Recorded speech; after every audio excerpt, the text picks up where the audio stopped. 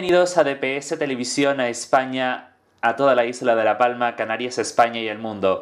La campaña electoral acaba de comenzar. Los partidos políticos se lo jugarán todo en las urnas el próximo 26 de mayo. Hoy seguimos con la ronda de entrevistas a todos los candidatos que presentan candidatura al Cabildo de La Palma. Tenemos al otro lado del hilo telefónico a Tomás Rodríguez, que es el candidato por Pueblos de Benaoare. Tomás, buenos días. Muy buenos días y un saludo a toda la audiencia de DPS Televisión. Gracias. En primer lugar, ¿cómo llevas este inicio de campaña?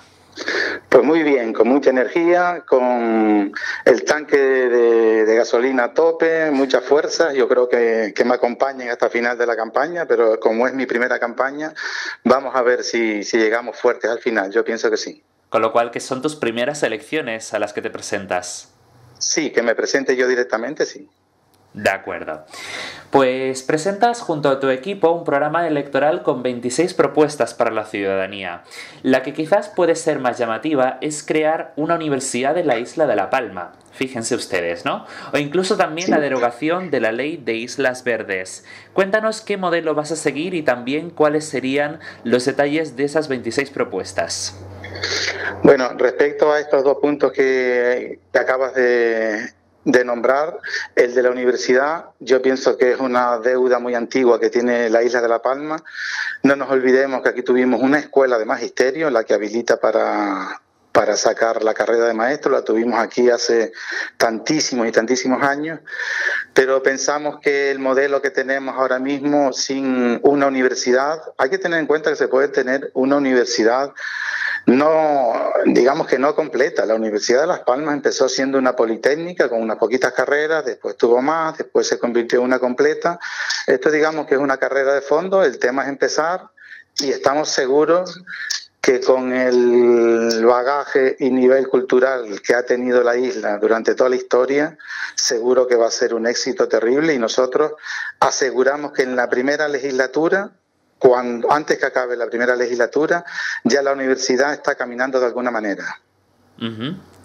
Y con respecto a la derogación de, las islas, de Islas Verdes. Bueno, para esto hay que tener un poco de, sentido común. La ley de Islas Verdes es eh, hija, nieta o como se quiera decir, de otra ley, de la ley de moratoria turística, y después se habilitó esta ley específica para las islas occidentales, excepto Tenerife, pero la realidad es que esta ley no ha dado ningún tipo de resultado aquí en La Palma. Es decir, no ha habido inversión, no, yo estoy seguro que se hizo con muy buena voluntad, pero hay que, hay que reconocer la situación. O sea, no ha dado resultado, nadie invierte aquí en La Palma, los inversores tienen mucho miedo, algún pequeño grupito de apartamentos que se está haciendo, pero eso no supone tirón ninguno para levantar la economía de La Palma. Entonces nosotros eh, proponemos derogarla y de momento pasar a ser una isla más del archipiélago canario. Hay mucha gente que se asusta cuando yo digo esto, pero que no tienen que perder el norte porque cuando un inversor va a hacer un, un, hotel de, sol y playa, lógicamente no va a elegir La Palma. El, inversor que viene aquí quiere hacer algo diferente, algún hotel temático y que pueda traer un turismo selectivo y que nos pueda diferenciar del otro tipo de turismo que se hace en el resto de las islas. Pero para eso tenemos que crear las condiciones para que los inversores confíen en nuestra tierra. Y cuéntanos qué modelo, eh, te preguntaba antes cuál sería el modelo que vas a seguir y cuáles serían los detalles de las 26 propuestas que vas a presentar al Cabildo de La Palma. Vale, nosotros eh, en la corta andadura que tenemos desde que se abrió la campaña electoral y la preelectoral nos han hecho siempre la misma pregunta, ¿en qué lugar del arco eh, ideológico nos colocamos? Yo siempre digo que en ninguna, en el arco ideológico palmero no tenemos espacio en ningún lugar porque nosotros somos un grupo de gestores y que creo que es lo que necesita la isla de La Palma ahora mismo, ¿no? Eh, colocarte en un lado o en otro, yo pienso que ahora mismo ese debate aquí en La Palma no tiene sentido cuando la isla está en unos parámetros muy, muy malos y lo que hace falta es gestionar los recursos que tenemos y los que están por conseguir, ¿no? Entonces ahora mismo pues nos colocamos a un lado del arco, encima, debajo, donde sea, pero dentro del arco no, y más que nada porque llevamos un potentísimo programa social que lo tenemos eh, en el punto 21, un programa de gestión asistencial a las personas mayores, a las mujeres maltratadas, a los dependientes, personas con, movilidad eh, reducida, familias en riesgo de exclusión, pues tenemos un ambicioso programa de gestión eh, asistencial, va a ser, vamos, una cosa más propia de los países nórdicos y que nosotros estamos seguros que aquí lo podemos llevar a cabo, ya que las gestiones anteriores de la Isla Palma nos han dejado una población tan envejecida, lo que no podemos hacer ahora es dejarlos tirados y abandonados, ¿no? Tenemos que darle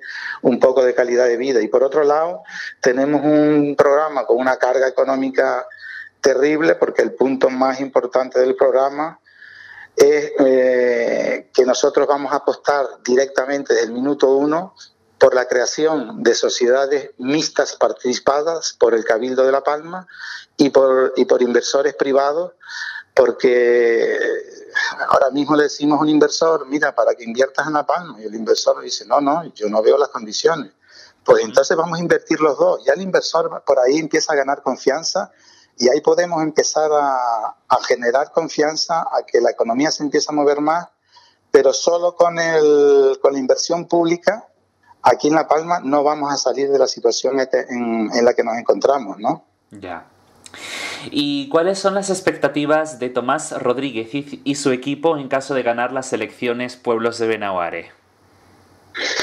Bueno, nuestras expectativas es, eh, nosotros queremos cambiar la isla, no, no, nos podemos olvidar que nuestra, nuestros ascendientes y nosotros mismos hemos recibido una isla en, bandeja de oro y se la vamos a entregar a nuestros hijos y nietos en una bandeja de lata oxidada, ¿no? Porque es que no, no, no tiene nada que ver lo que hemos sido con lo que somos. Eh, en una época que el dinero ha corrido a mansalva, no entendemos cómo la isla de La Palma ha caído, bueno, ha caído, eh, su carga poblacional ha caído muchísimo, su economía una barbaridad. En todos los aspectos hemos caído de manera que ahora mismo pues, estamos en una situación muy complicada y, y creo que hace falta otro tipo de medidas, otra gente con otras ideas y yo vengo del mundo empresarial, tengo una, una dilatada eh, experiencia y, gestionar es una cosa que habitualmente no se me ha dado muy mal, que llevo ya bastantes años con una empresa privada y con muy buenos resultados, ¿no? Bueno, y ya para terminar la entrevista, ya estamos en campaña electoral, con lo cual, ¿cuál es el mensaje que, de petición de voto en estos momentos?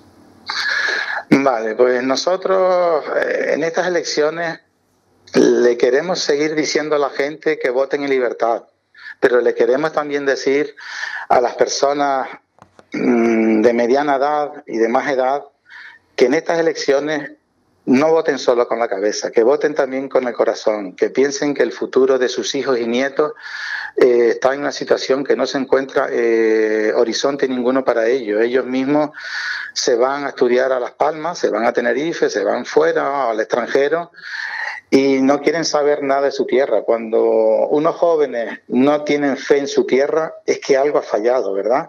Entonces, eh, queremos que la vuelvan a recuperar y por lo menos que se creen las condiciones para que los chicos puedan volver aquí. Y claro, hay que tener los pies en el suelo. Los chicos, si hay chicos que hacen estudios de nivel, pues tenemos que tener aquí trabajos de nivel para que ellos vengan, hay que ser realistas, ¿no? Vale. entonces nosotros pensamos que, que, eso, cambiar el diseño que se ha hecho de La Palma, no hemos ido por buen camino, los datos creo que avalan lo que yo estoy diciendo, y eso, lo más importante es que nuestros jóvenes vuelvan a confiar en su tierra, en la que hemos confiado toda la vida, sus ascendientes, sus bisabuelos, abuelos, lo que sea, y yo creo que nosotros tenemos un programa que está en el camino de conseguirlo. Solo hace falta que la gente no vote en libertad, que quiero decir que vote sin miedo y que confíe realmente en sus posibilidades. La estima del palmero quizás se ha bajado mucho, pero yo lo quiero decir a los vecinos, habitantes y conciudadanos míos que somos una gente muy grande, que somos importantes y que queremos volver a ser la palma auténtica. Bueno, pues con esa reflexión que a qué haces nos quedamos. Tomás Rodríguez, eh, candidato por Pueblos de Benaguaria a la presidencia del Cabildo de La Palma. Muchísimas gracias por atender la llamada de DPS Televisión y como tú mismo has dicho, llamamos ya a todos los ciudadanos a, a que voten en las próximas elecciones del 26 de mayo. Vale, muchas gracias a ustedes y sigan con el trabajo espectacular que están haciendo. Muchas gracias.